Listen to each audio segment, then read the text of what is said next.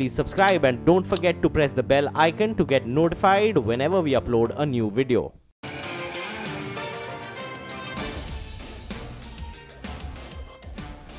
Hi there, good morning. You're watching Chartbusters, a show where we highlight all the buzzing stocks of the day, get you expert advice on how to capitalize and trade on these stocks. All that packed in the, packed in the next half an hour. I'm Manglam Maloo. With me is Nigel D'Souza. For the markets itself, we opened with a record high, but now seems like those gains have been petered off. The Nifty is back below that 11,400 mark. Important to see what happens. The mid-cap index, that one's at the low point of the day. The advanced decline still favoring the advances, but both, two, uh, both uh, those two lines have been coming closer. The stock on my radar, SBI, that one's at the low point of the day. Along with that, we also have uh, Coal India. That one's seen a sharp knock, currently sitting at the low point of the day after moving around 6-7% from the start of this month itself. Hi, Nigel. Hi, Manglam. Well, uh, quite interesting. Eh? Uh, we started off the day we had the music playing, yeah, the drums the going because we were at all-time highs. And the last few minutes, there's suddenly some nervousness that's come into the markets. In fact, there is some routine profit booking, I think. We have suddenly moved to the low point of the day. I think we can pull up some of those Asian markets. Let's see what they were doing. They were more or less flattish or trading with a mild positive bias. So let's see what some of those Asian markets are doing. The mid-cap index, in fact, after doing a relative outperformance for the last couple of uh, weeks, that's come in for some profit booking. But that's quite interesting. Asian markets, they're holding well in the green. And suddenly we have seen some profit booking on our own market. Uh, our own market. So we're falling on our own weight. And just a quick point, Manglam, you talk about SBI. That is the most mm. important result this week. Right. Why is that? If you're saying that the Nifty EPS is going to go up by nearly around 25 percent, 25% of that 25% has to come in from SBI. So SBI's numbers are extremely important. We'll have to keep an eye out on those numbers. That comes in on uh, August 10th. So we'll next couple of days. Absolutely, fair point there. A big swing factor as far as SBI's earnings are concerned. And uh, uh, a last part of that uh, falling could also be explained by the fact that yesterday we saw a lot of writing at the 11,400 yeah. put. Close to around 20,000 short puts were added by the FIs. So let's see whether those guys will unwind or not. Yeah, and Manglam, you know, we were pointing this out yesterday as the well. Then the PCR at around 1.7, that's telling you, you know, it's at the upper end of the band. So we'll have to keep an eye out on that as well. Let's get straight right. to the headlines. Yes, the director says headlines and headlines it is.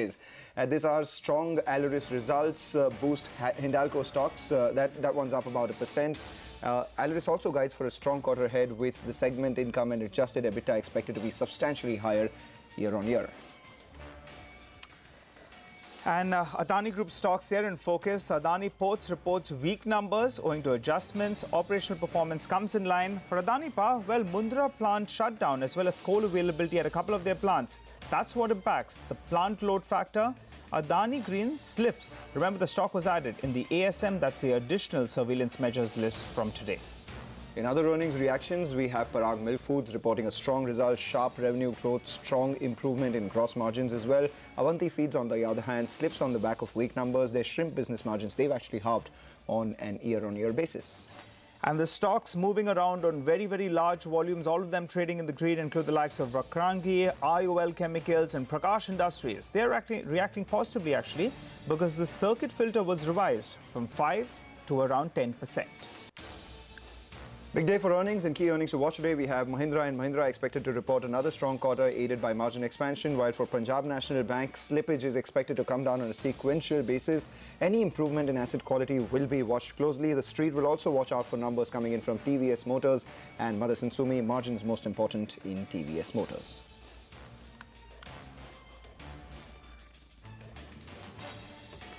Okay, all right. A uh, couple of stocks, Axis Bank as well should come up for you. In the last month or maybe 40 days, the stock has moved very quickly from sub 500 all the way to around 600. Axis Bank is coming for some profit booking, but the more important number today is going to be PNB. Right. And uh, the intraday chart of uh, PNB should come up for you. That stock suddenly, it's taken a bit of a knockdown you know, a rather large knockdown actually, and volumes as well, very, very high on that counter. So keep an eye out on that front. But how do you trade the Nifty from here? Ashwini Gujral joins in. Ashwini, well, we're more or less flattish. The mid caps are doing a relative underperformance today. The Nifty Bank as well, as flat as can be. Uh, what would the trade be on both the Nifty as well as the Nifty Bank? Well, this is the time your drum should start beating because you are getting a dip which people should buy we had recommended if the Nifty uh, got between you know 11,380, 400, you should buy into it. Similarly, Bank Nifty uh, you know, anything between 27, 850, 900 uh, should be bought. I think the uh, stock, the banking stock, which looks very good today, is HDFC Bank and Kotak Bank. Today could be a day when corporate lenders take a back seat and those retail guys who get beaten up every day, mm -hmm. they put their hands up. So uh, that way, I think this is a good dip, which is you know cleaned up uh, all the weak hands, and uh, possibly by end of the day, held by PNB, etc., uh, we could end up higher. That should be the trade you should take. Uh, broadly, you know, 11.3, 75, 380 can now be a decent stop. But uh, I would look at very carefully the retail private banks today. That's where we can see traction.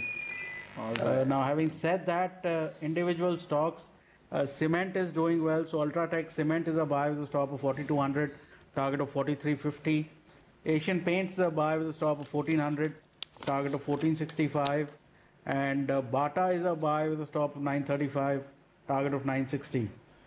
Right, Ashwini, thanks a lot for that. We will uh, request our director to perhaps pull up that drum and play that as well. Ashwini was saying, you know, retail private banks doing fairly well. So HDFC Bank has moved to the high point of the day, supporting the Nifty back into the green, as well as Kotak Mahindra Bank after underperformance for the last few days.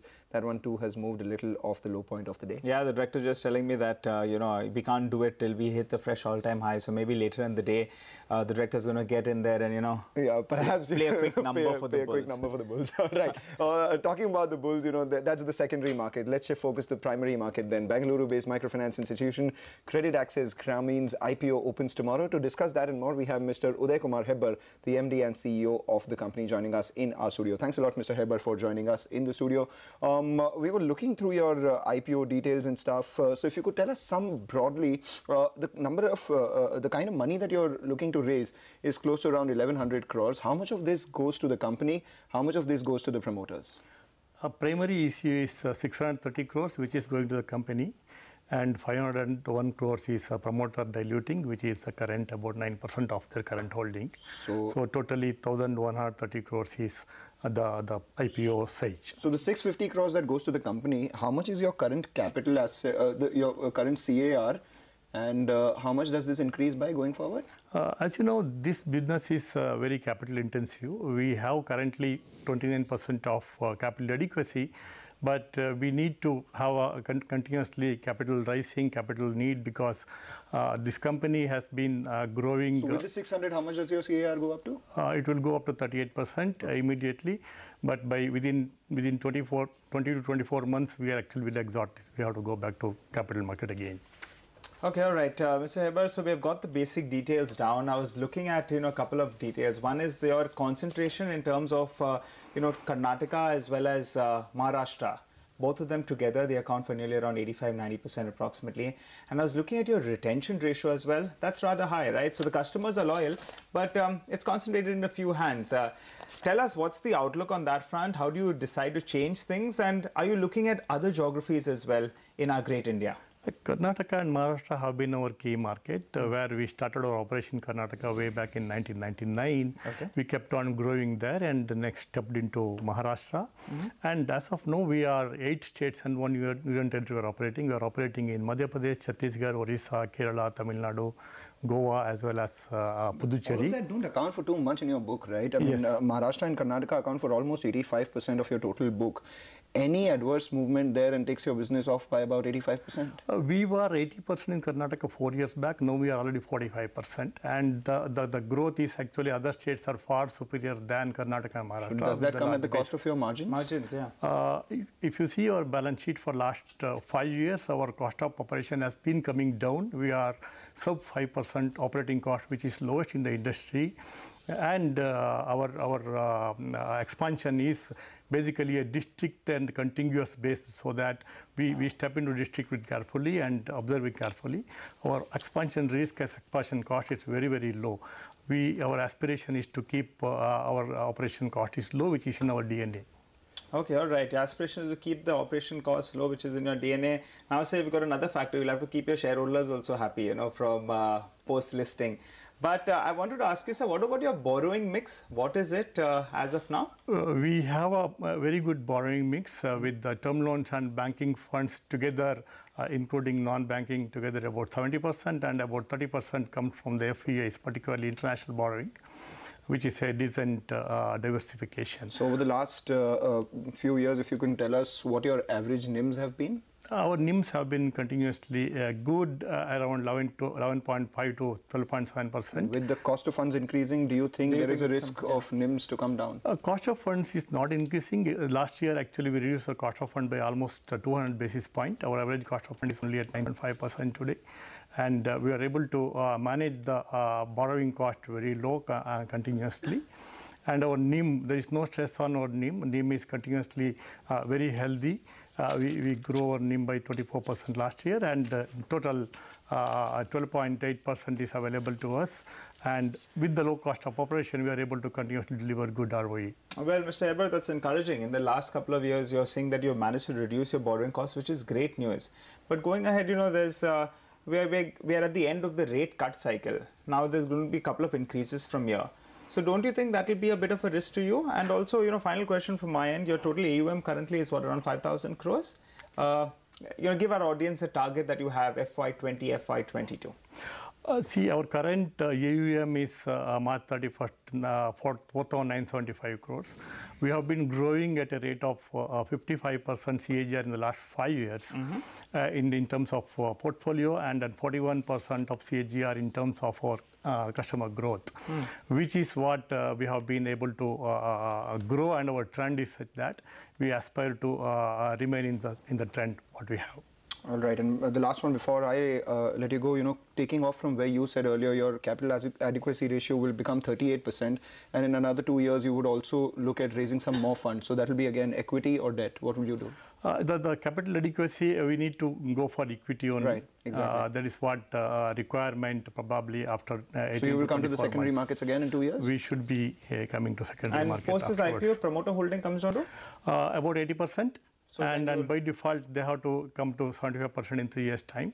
Okay. Okay. So they will they will remain there. So which is what explains the fundraising that he. And, and so I just didn't get that AUM uh, number. It is at around 5,000 crores. You said that you know you'll have been growing at a CAGR of 50, 55 percent. Now the base will catch up, right? So by FY20, what number can you guide our viewers to? Uh, uh, uh, actually, even last year with the with the larger base, we grew about 62%. Move to the low point of the day. The Nifty again is hovering in the red as we speak. So all of them should come up for you. The oil marketing companies, the, the likes of IOC, BPCL, and HPCL, all of them at the low point of the day. We will watch out for that. But the stock on our radar right now is GSS Infotech on the back of a strong uh, effect on the back of a strong uh, first quarter numbers and also some management changes that took place. So GSS Infotech, in fact, currently is up about a percent. Small company, 150 crore in terms of market cap, but this year itself, it's moved in excess of almost 200%. So at the start of the year, the market cap was close to around that uh, 50 crore mark. Now it has surged. So we'll discuss uh, the growth prospects by the company's CEO, Mr. Bhargav Marpalli,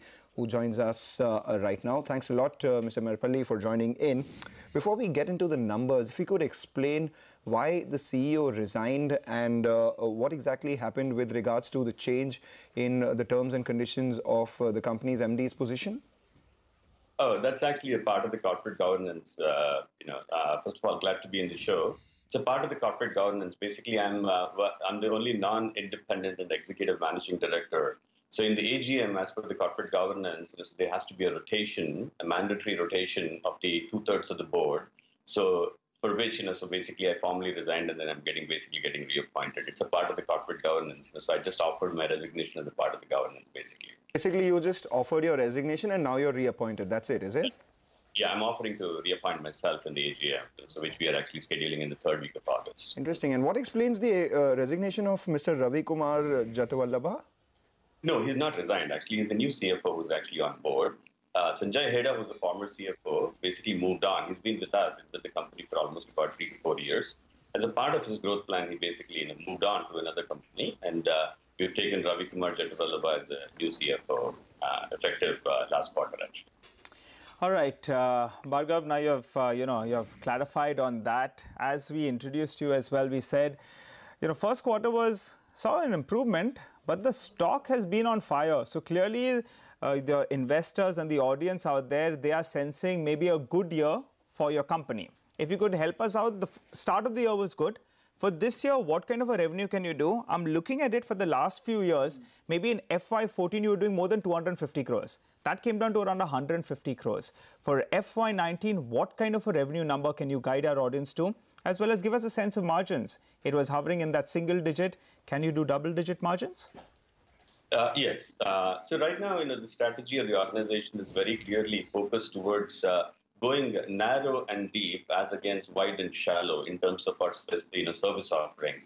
Previously, you know, we used to, while we used to do a lot of revenue, we used to be all over the place in terms of application maintenance, development, infrastructure management, managed services, and a lot of other things. And we used to be vertical agnostic as an organization. Now, we've actually taken a conscious decision to go, like I said, narrow and deep into healthcare vertical specifically. Over the period of almost about 20 years as the, the existence of the organization, we've derived you know, a lot of experience and expertise in the healthcare uh, segment. Margins you will do, Mr. Marpalli? So margins, so we are expecting a similar such profits, uh, you know, in terms of our... Okay, 11 point, 11.5% margins for the end of this year. And the revenue number that you're talking about, can we uh, multiply the current quarterly revenue by four or are you looking at much more than that? I'm conserv- I would actually conservatively ask you to multiply that by four. Okay. Uh, while there are a lot of other projects that are in the pipeline, and there is also an inorganic growth strategy that's uh, you know well in place, along with uh, another you know hybrid strategy called. What's the kind of cash that you have on your books? We have almost we are a debt-free company. We have almost about two and a half, three million dollars of uh, you know cash with us most of the times we used to have a debt, long-term debt, you know, so we retired that debt almost about two years ago. Mm. Uh, we have a short-term line of credit, uh, you know, in the U.S. Uh, you know, account, but other than that, so we're pretty pretty much a debt-free company. Other than the cash, you know, sorry, account receivable aging is about 72 days right now. You know, so we have a fairly healthy account receivable along with the cash balances. You know, uh, Bhargav, the one number that really glares at me when I look at your uh, uh, reports on the Bombay Stock Exchange is the fact that the stock has moved phenomenally from the start of this year, but the promoter stake, that was just about 12.8%. Uh, why is your stake, uh, the promoter stake so low in the business? Are they looking to increase their stake, especially given the sort of rally that has taken place in the stock? Would Absolutely. they not like to, you know, participate in this up move? That's a great question. I mean, I'm one of the first employees of this company. You know, so we started this way back in 97, 98 in an apartment with one computer, one telephone line in Chicago. As an organization, we are in existence, and uh, I'm the founder, co-founder, and CEO. That's right. Uh, you know, Bhargav. Uh, Short point, Bhargav. We wanted to understand. You're at around 13 percent. You're talking yes. about good numbers. There hasn't been much revenue growth in the last couple of years. Will the promoter look to increase some kind of stake? If everything's going to be so good, it makes sense, right, for a promoter to go ahead and increase stake. Clarify on that. Uh, absolutely, it does, definitely does make sense. So there's no specific plan, specific plan as such in the hmm. offing. Mm. In terms of the you know growth, but I would like you to see me as a professional CEO, right? You know, so right. in the 12, 30 percent, uh, more than a founder, you know, kind of a thing. It's a very professionally run company along with the top management, mm-hmm. which is uh, okay. So really, the holding of the promoter doesn't really matter. You know, so answer, okay. short answer is, you know, mm. so we are, you know, definitely trying to, uh, you know, uh, run the company in a very hmm. professional mm. way. Okay. Uh, um, right now, we don't know, you know, so we're still working on that. And one. if everything goes well, I'm seeing you're not paid dividend from 2010. If everything goes well, will you be back to a dividend-paying uh, company in the next year? Uh, there are some orga- inorganic growth strategies, and then there's there's some okay. capital expenditure, not capital expenditure. There are some investments that we need to make in the GSS labs, mm. you know, hmm. which is a strategic initiative that we are trying to do in blockchain, you know, analytics, you know, robotic process automation. Announced revision in the new axle load norms. Utkarsh joins us with more details on the same. Utkarsh. Uh, so it's an important uh, clarification. Uh, uh we, in fact, last week uh, told our viewers the issues which uh, the industry had really gone ahead and spoken to the ministry. Now, there are three major changes. The first one is that the maximum safe axle weight to, has been changed to 7 tons from 7.5 tons in single axle with two tires. But more importantly, uh, the second change which speaks about is that uh, the industry was really worried about the fact that you know you, you have to really go and re-engineer and recertify all of the current models. Now that is something which has been done away with, and the clarification says that vehicles who have type appro approval before the 16th of July, so the models which are currently running already have a type approval from ARAI, will will not need any changes, any new changes in braking norms, in any new changes in steering norms, and they can automatically will be shifted uh, to uh, the newer GVWs. Suppose uh, a truck of 37 tons had a pre-type approval of 37 tons, does not need to really meet the new uh, norms, braking and steering norms of 41 tons. That also includes all the trucks which have been on road. So all that, so the whole speculation about what will happen to the trucks on road, uh, the, the new norms will apply to them as well. Now, how will uh, the certification process work? Will they have to go to the RTO to really, uh, uh, you know, go and change their GVWs mentioned in their truck and papers? That is something which which has to be seen. Uh, but two major clarifications: one, that the old trucks uh, the, the new norms will apply to the trucks which are on road. And secondly, no new re-engineering changes are needed for trucks which are being sold at this point of time. But any model which will go for go to ARAI for a pre-type approval, after this, that means all the new models which the government, uh, which the truck makers are working on, will need to meet the new norms. All right. Thanks a lot, Utkarsh, for that. That's a very valid point that you're making. We will keep an eye out on this story as this develops. But let's move on then. The rupee skid to a fresh two-week low yesterday, but a weaker currency. Is that a cause for concern? Lata Venkatesh posed that question to the former chief economic advisor and former World Bank chief economist Kaushik Basu, who has reiterated that a stronger rupee need not imply a stronger economy. The common belief might be, as the common belief might be. Commenting on India's trade deficit, Basu said the rupee should be anywhere around that 71, 72 to a dollar level for exports to actually grow. I do feel that also um, the informal sector, the small sector, the small producers, they have not done well in India. Even getting loans to them, the small producers, easier loans, the banking situation has been difficult. This is, of course, uh, sort of uh, build-up of a problem over a long time. So that is affecting the smaller players' credit availability, and those things play a role. So that's there. Along with that, I do believe that the exchange rate is playing a role. And I should make it clear, I don't now work in government, I don't look at the last moment data, but my hunch is that the rupee has got stronger in real terms. There's been some correction over the last few months, we know that, but not enough of a correction. And the strengthening of the rupee means that uh, exports are being hurt globally. I would, this is my own back of the envelope calculation, I would expect something like 70, 71 rupees to the dollar to be where it should rest, which is going to give the space for our producers to get in competitively in the world market.